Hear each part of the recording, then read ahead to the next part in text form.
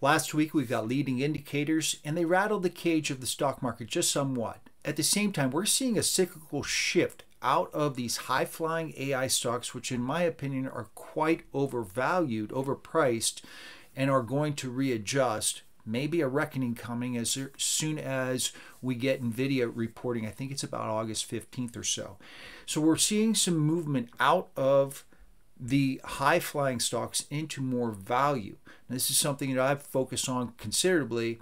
The Dow 30 has been lagging the market over the past several months. It's starting to catch up. I've got some charts I want to break down showing you what leading indicators that did rattle the cage of the stock market They're kind of a lagging indicator, not really a big deal. But at the end of this week, we get that big deal personal incomes, personal expenditures. This is how I look at the economy first and foremost. I ask the question what's going on with the consumer? Over 70% of the economy is consumer driven, and the consumer's report will be showing up this week.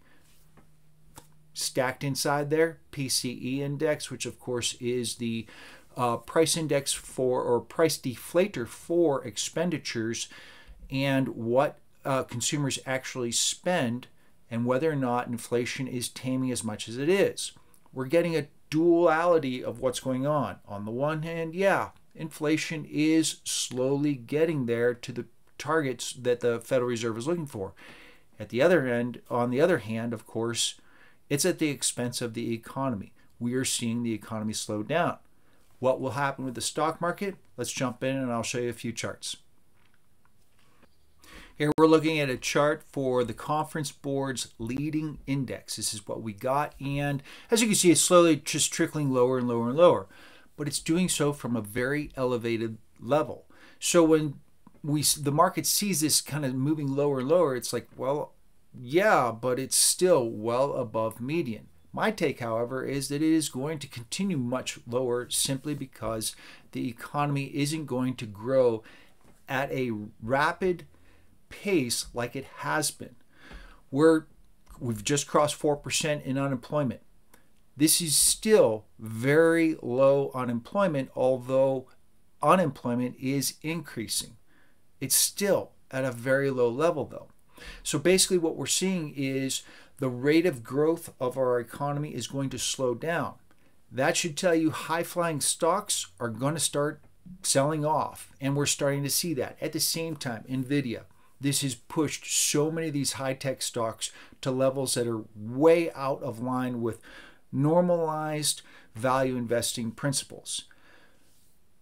But they also print big numbers quarter after quarter after quarter. That won't go on forever. That won't go on for eternity. And at some point, NVIDIA is going to come out and say, modest growth. Pretty good, but not nearly as big as what we had seen before. And because of that, these high flying stocks are going to just implode. From there, at the same time, we're seeing the economy not grow as fast. Because of that, these high flying stocks are going to hit, uh, savvy traders are going to hit the brakes real fast. So, this leading indicator or leading index, for me, it's kind of a lagging index. Here's a look at what the personal incomes versus personal expenditures charts look at. And this is, for me, my analysis from an economist standpoint. This is where I start everything. The rate of growth of personal incomes pushes the rate of growth of personal expenditures. If we see an expanding income base, then we'll see an expanding expenditure base, which would drive the business cycle or the demand cycle. This numbers, the numbers we're seeing right now are just sub 2.5%, and that's below median. But we're we're working in an economy that has a very high employment level. So we're getting back to more modest levels. And that's understandable considering that the Federal Reserve has left interest rates for higher for longer and they probably likely will continue to do so for some time. Here's a look at SPY stock. Um, last uh, week, of course, specifically Friday. Now, I do a lot of uh, straddles and strangles on a daily basis for with SPY stock, QQQ, sometimes DIA. Uh, depending on the day of the week, they only have one expiration day per week. Uh, so I'll do a lot of options tradings with these. And Friday's uh, price level for options at the money was just too price in cost prohibitive. They were uh, normally I pay about anywhere from say a buck 75 for at the money calls to maybe 225 on a daily basis. And that's pretty standard given where uh, the vix is at this point. Last friday i think it was like 350 so uh, you can see the big move that we saw had on thursday from the leading index friday i think the market was pretty nervous as to what could potentially happen given what had happened just the day before and yet even though I didn't pull the trigger because I felt that those options were a bit too expensive, the market still moved enough I would have been profitable. Uh, I just I just felt like the risk wasn't there. I didn't. I thought that the Thursday's move was a little overdone, and that we'd probably see an inside day for Friday. We did not. Uh, but let's take a look at here's SPY stock versus QQQ, which of course is the blue uh, percentage bar up above, and then DIA is below in the orange. We're starting to see these merge back together. SPY stock's been kind of stuck in the middle as QQQ might sell off significantly, but DIA stock, we're seeing these stocks kind of moving back upward, catching up with the rest of the market. So we're seeing this shift out of these higher flying tech stocks into low valued uh, or va- value stocks that are underpriced relative to their actual value, relative to alternative investments, we're starting to see the DIA Dow 30 kind of pick back up and you can see that we were at one point DIA stock was basically at 0%. It's kind of merging back closer to what the rest of the market is doing. Do I believe that it's going to continue to do so? Not really because overall the economy is going to slow down, which means a lot of these stocks are going to go ahead and start sliding lower overall. Here's a look at this is a stock I've been putting a lot of emphasis on because this one for me is kind of a, a, a no-brainer. This is TLT stock, and I've been buying a lot of TLT stock back in April, I think it was. I bought a lot at about 87.50, 88, and 89. Uh, and I've been sitting on these for some time. Now, we've not really moved much. We crossed 90, and I thought about adding more in at 90. TLT stock is the ETF versus U.S. Treasury bond prices, 20 and 30 year, uh, the longer dated bonds. So, this is basically bond price for uh, uh, TLT stock. It's, it's, it'd be the inverse of actual yield. My take interest rates will move lower at some point 3, 4, 6, 9, 12, 18 months out. Because of that, TLT stock will move higher. What I've been doing in between, when we get a move down close to 90, I start I get in and I'll start doing uh, credit spreads, selling credit spreads, which is an option strategy for those who aren't quite as technical on that uh, and just bring in either theta or uh, bring in that spread. It's a credit spread to me. Um, I may sell puts outright. I'll take the position. I don't care because uh, my expectation is interest rates eventually will go lower. And so, therefore, TLT stock will move higher. In the meantime, we've been stuck. And that's perfectly fine with me. I still get that yield dividend uh, coming from TLT.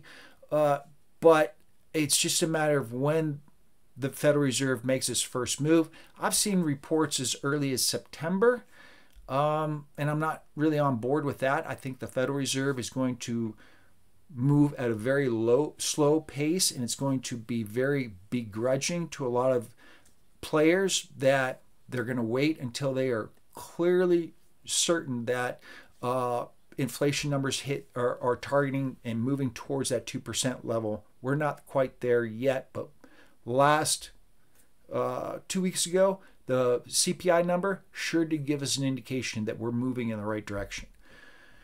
Um, oil, oil is starting to come back down. It had hit uh, close to 85, 84 half.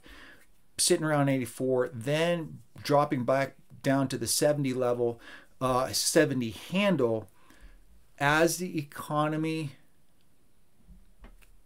doesn't expand as much with supply, what'll happen is you're going to get your OPEC players who are going to start cheating. They've all agreed on a certain output level. And these OPEC players are going to start cheating because as demand declines, price will drop. They want to make as much money as they can, so they'll pump out either more oil or just continue at whatever levels they're at. And this brings in more premium or more revenue and profits for these companies and countries involved in OPEC. Uh, that pushes price even lower. And eventually, OPEC's going to have to get together and sit there and say, all right, guys, we need to cut this out in order to push price upward. I'm looking for the low end of the 70s on oil, and I expect over the course of this fall, we'll probably hit, say, 72 and a half. Uh, I haven't made any moves on oil, but eventually I'll start getting in pretty heavy on there. Once I see that OPEC is getting antsy, then I'll start selling some uh, options underneath. Um, the next chart, this is copper. Copper's been considered the PhD of economics. As the price of copper, let me let me go backwards on that. As demand from manufacturing because of consumption is declining, the price of copper declines as well. Now, this is CPER, which is the ETF versus copper, um, the actual physical metal. So, this is basically the ETF for the metal itself. And um, we're starting to see numbers moving lower and lower. This says that, broadly speaking, the world economies are slowing somewhat and, and demand is dropping because supply and also supply is increasing, so pri- price must fall as well. I'm going to start keeping a sharp eye on this because when copper dropped below 27, for me, that was a sort of a signal that, yep, uh, the PhD of economics is telling us the world economies are starting to slow, supply is building up, prices dropping. This will be indicative across the board. It will also help out with inflation. So, something to keep in mind. Um, my take on what's going to happen with the stock market continues to be absolutely consistent. I'm looking for Nvidia on, I think it's August 15th. I'll check in a couple days. It's not the biggest thing that I focus on right now. Their numbers should show a less progressive increase. And all of a sudden, a whole bunch of people are going to hit the sell button. That will be the beginning of it. But we're also seeing the economy start to contract somewhat. The pace is not as high flying as it was before. We're getting to moderate. That in itself will drive the stock market lower. These high flying stocks are going to start contracting, savvy investors are going to start getting out. At some point, it'll get kind of ugly. But this doesn't mean we're going to be looking at a recession. We're just seeing normalized growth rates. So the Federal Reserve will keep interest rates higher for longer, which would frustrate the stock market. At the same time, the economy will start to uh, slow down, which will frustrate the stock market. Eventually, however, the Federal Reserve is going to be in a position where they're going to have to really start accelerating their low, uh, lowering of interest rates. That's what I'm holding out for, especially with my TLT stock, because this is something that I think that is really going to start taking off eventually uh, as the Federal Reserve rushes to lower interest rates. At first, they're going to be real slow. Then it's going to be an avalanche. They're just going to be like, well, we got to get going. They've blown it left and right with so, many times with leaving interest rates at the wrong level for too long. And I think they're going to do this once again. And I'm going to take advantage of that. My TLT stock will take off, and that's my year right there, to be honest with you. Uh, the rest of this is just gravy for me. That's how I trade. I base everything on the economy. The economy is starting to moderate, but eventually will go a little too far in the slowdown process. We're seeing the signals with oil, copper, and other commodity products. We're seeing the consumer slow down, and this will affect the overall stock market. I have said that I expect a lot of selling to happen in the fall. I said this last fall, September, October, November. I was talking about this and everything. And I said that we would see all time highs all through the spring, which we had seen. So now start getting ready for those that sell off. Make sure to hit the like and follow button. Also, my link to my Substack newsletters down below. We'll see you next.